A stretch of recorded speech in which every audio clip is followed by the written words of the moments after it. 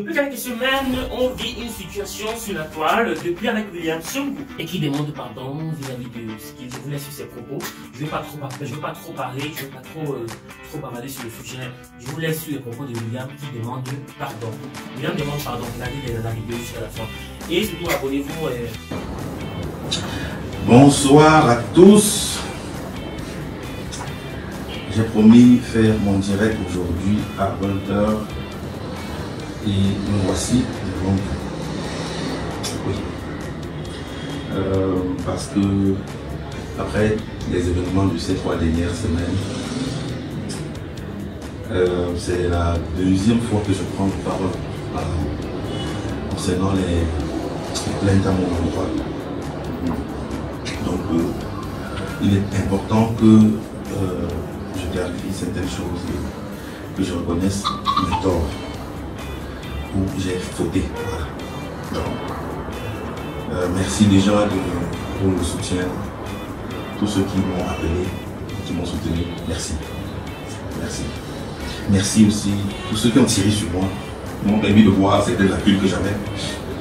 Mhm. Parce que certaines personnes disent euh, tout ce que Dieu fait est bon, et d'autres disent, moi je dis, tout contribue au bien. parce que vos critiques m'ont aidé, vos insultes m'ont aidé, vos euh, encouragements à, dans mon travail.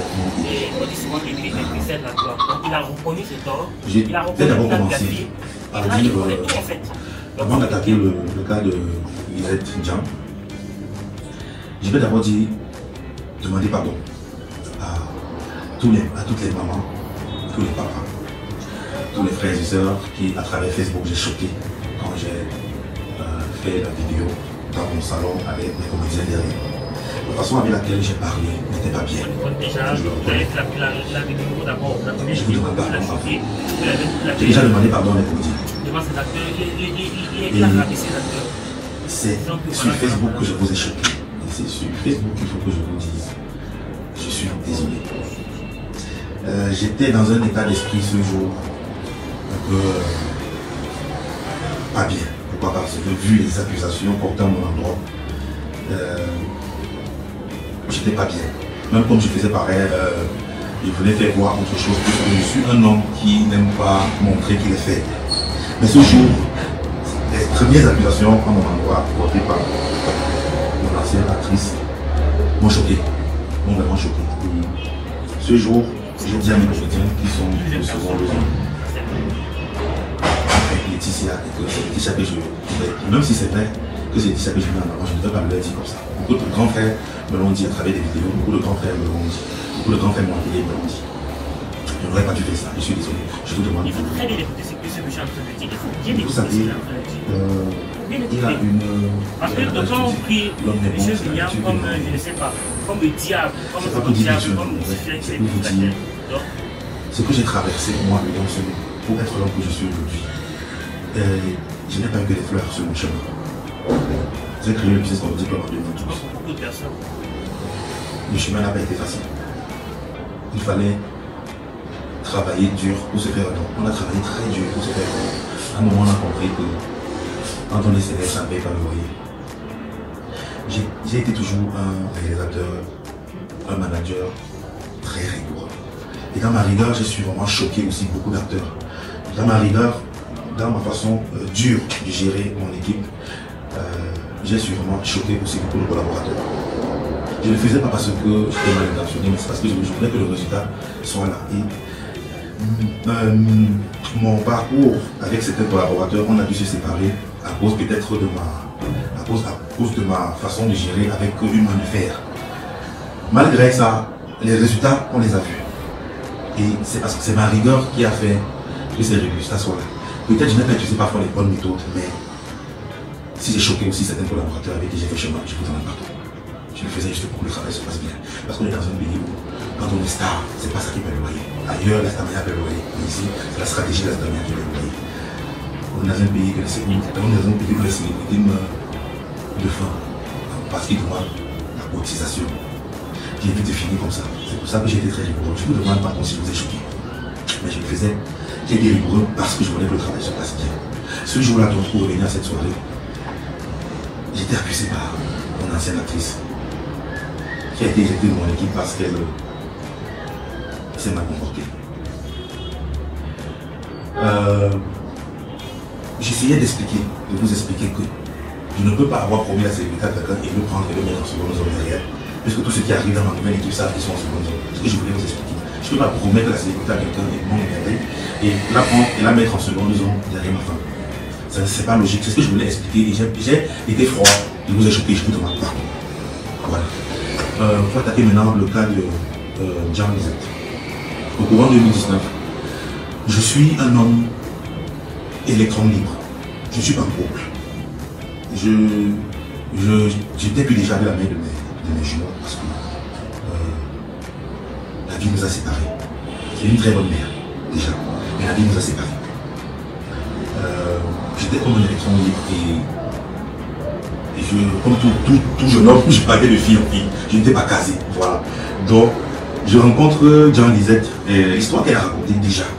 Quand Jean Lisette, j'ai vu sa vidéo, j'ai vu une femme qui pleure parce qu'elle a mal. Ses pleurs sont sincères, je dois vous le dire. Elle est sincère dans ses pleurs. Elle pleure parce qu'elle a mal, elle pleure parce qu'elle a souffert, oui. Je connais une femme qui a mal. Parce que euh, je ne fais pas cette vidéo pour dire qu'elle a fait vidéo, elle a menti. Non. Je l'ai rencontrée courant 2019, j'étais libre, trop libre, j'étais en fille, comme tout, tout le temps. Je suis arrivé chez DJ Cerveau parce que je partais à droite toutes les deux semaines, ou une fois par mois parfois, pour travailler sur le concept Gloria. C'est moi qui réalisais dans cette époque-là. J'ai rencontré cette fille. Et on a commencé à flirter ensemble.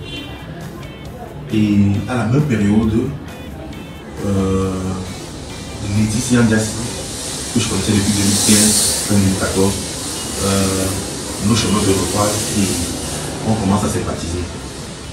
Euh, pendant que Laetitia et moi ça devenait plus sérieux, avec Lisette, euh, j'ai commencé à prendre du recul.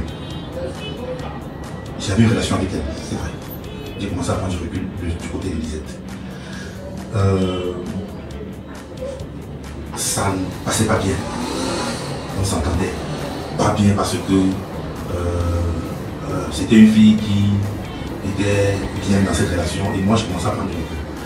Donc quand Lisette m'appelle pour me dire qu'elle est enceinte, euh, ça faisait peut-être déjà trois semaines, deux semaines, c'est plus trop.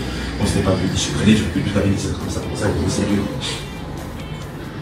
Euh, elle m'appelle donc un jour, elle me dit qu'elle est enceinte. Curieusement, euh, je lui ai dit, ce jour au téléphone, notre relation ne pas plus de l'aide. Je te l'ai dit il y a une semaine, deux semaines, quand on s'est parlé, et que j'étais en train de vouloir déjà qu'on arrête.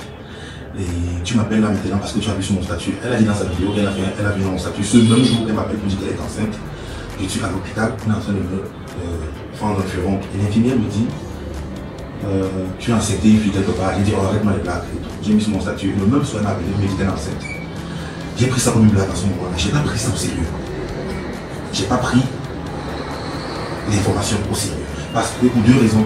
J'étais en train de prendre un peu dans la relation et je lui avais dit Deux, j'avais mis un statut où j'étais en train de dire euh, on m'a dit que j'ai ces deux vies et tout, tout, tout. Je lui ai dit, tu, tu, me dis ça parce que tu as vu mon statut. Elle m'a dit non. Et j'ai pas pris ça au sérieux. Parce qu'elle a insisté, insisté, insisté, j'ai même bloqué. Je l'ai bloqué. L'idée c'est vous m'appelez euh, deux, trois jours plus tard, euh, la copine ils m'ont appelé, j'ai pas pris au sérieux. Parce que je me disais, ils étaient en train de blaguer. J'ai pas pris au sérieux, sérieusement. Euh, en ce moment, je partais plus à droite parce que j'avais arrêté mes activités, je ne réalisais plus euh, Curieusement, donc, euh, quelques mois plus tard, euh, euh c'est bon m'envoie une photo dès l'avènement. Jusqu'à là, je prends encore sérieux parce que je dis arrêtez, c'est beau, arrêtez de monter les choses parce que. Et tout. Entre temps, Lisette m'a contacté par, avec un autre numéro et on a commencé à échanger. Je lui ai dit je ne, je ne veux pas avoir un enfant. Si tu dis que tu es enceinte, va chercher le père de ton enfant. Je ne sais pas vraiment. Et tout, je n'y crois même pas d'abord.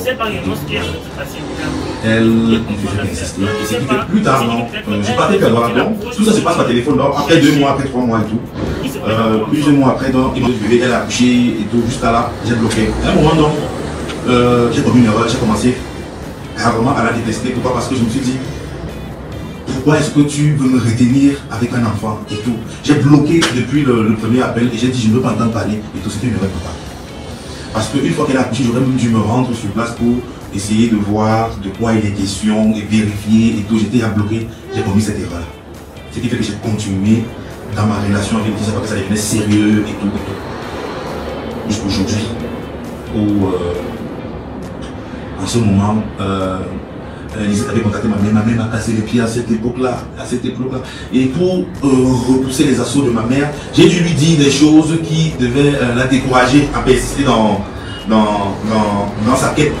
Par, par, parce que ce qu'ils l'avait appelé, ma mère me cassait les pieds matin, midi, soir. J'ai dû lui dire des choses qui ne sont pas bien euh, pour la décourager par rapport à, ça, parce que je ne voulais pas entendre parler. C'était une erreur de ma part. Euh, quand ça a réussi sur Internet, ma mère m'a appelé, elle m'a dit si tu ne veux pas que je me déshabille, c'est la règle de cette situation. Et tout. J'ai appelé Zéro hier matin avant son direct, il lui a dit il faut que je parle à dans son de téléphone. Il était surpris de voir son direct en 3 16 heures. J'ai fait cette vidéo aujourd'hui principalement pour dire à Lisette, j'aurais dû euh, prendre au sérieux. Au départ, j'ai pas pris au sérieux. Je pensais que c'était une blague.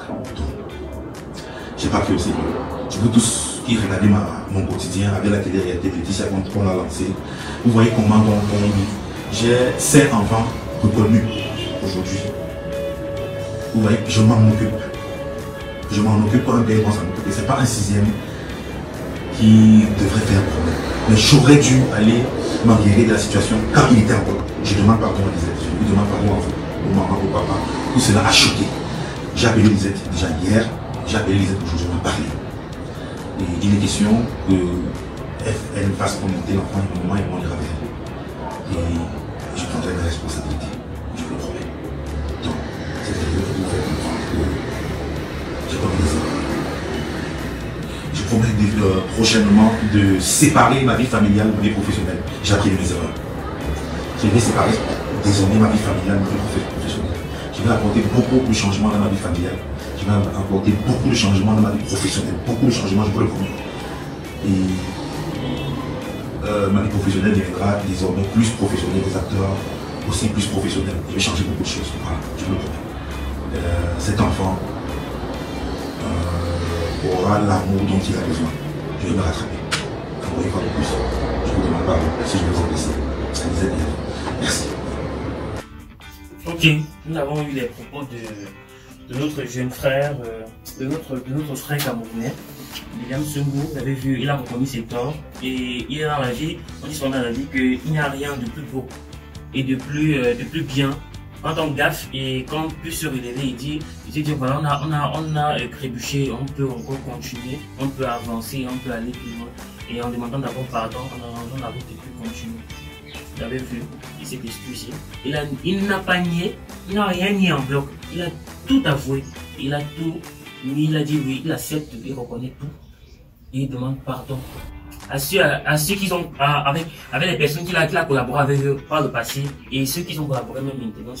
et tous ces propos qu'il a dit, il a, demandé pardon. Pour toutes les personnes qui ont, qui ont craché dessus, qui ont dit n'importe quoi dessus, il a dit pardon.